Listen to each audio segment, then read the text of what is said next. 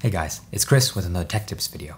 Today we're going to go over 6 cool Google services you didn't know existed that will make your life easier. Let's jump right in. Starting with one of my favorites, you can get a personal phone number through Google Voice and then make and receive calls using that number. I primarily use my Google Voice number for when I sign up for an online service and they ask for a number, or for making Craigslist purchases and I don't want to use my personal cell. What's great about voice is that when you get a call, it's really easy to tell that it's coming from your Google Voice number because this voiceover will play.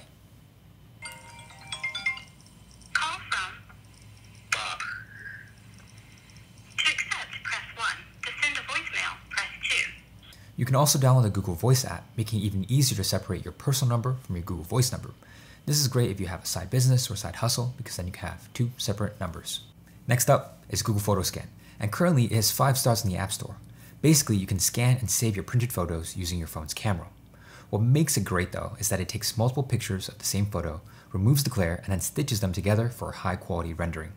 It also automatically crops the photo using edge detection. Let me show you. I'm going to take this card that I have here and take a picture. Photoscan will then use these four circles and ask me to line up the image. After you do that, you're basically done. Here's what it looks like. Alright, moving on, we have Google Fonts. It's basically a library of free fonts for you to use. It's also incredibly easy for you to install. For example, let's say you like this one called Lato. You download the zip, extract the files, and then hit install. Now when you use something like Word or PowerPoint, you'll be able to see those fonts. They also have an extensive list of icons, which are great for you consultants out there making presentations. Okay, we have Google Trends next. I like using this for my keyword research when I'm trying to come up with YouTube content, or just to see what the world is looking up right now. Seems like it's soccer.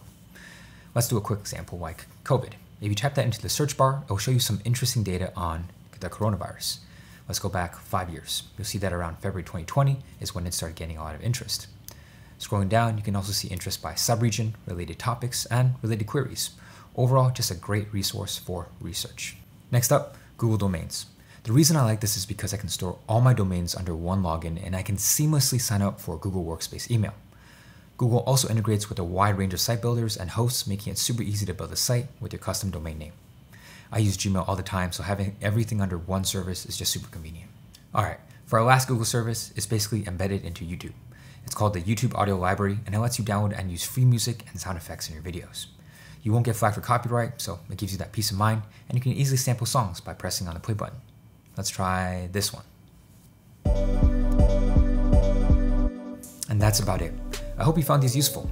Let me know if there are any that you use that I can add to this list or a future video. I want to thank you all for watching, follow for more tech tips, and I'll catch you guys for the next video.